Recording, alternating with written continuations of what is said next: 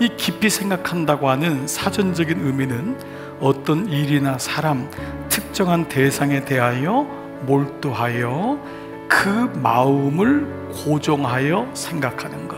이것이 깊이 생각한다. Fix your thoughts on Jesus. Fix on, fix 한다고 하지 않습니까? 고정시켜라. 너의 생각을 Fix your thoughts on Jesus. 예수님께 너의 생각을 고정해라. 다른 거 보지 말고 예수님께 생각을 고정시켜라. 그런데 이 카타 노예 사태는 사실은 여기서 멈추지 않고요. 대단히 구속사적인 언어라는 것입니다. 마음 가는 대로 생각하지 않게 하라. 너의 마음 가는 대로 생각하지 않게 하라가 이 바로 fix on your thoughts on Jesus.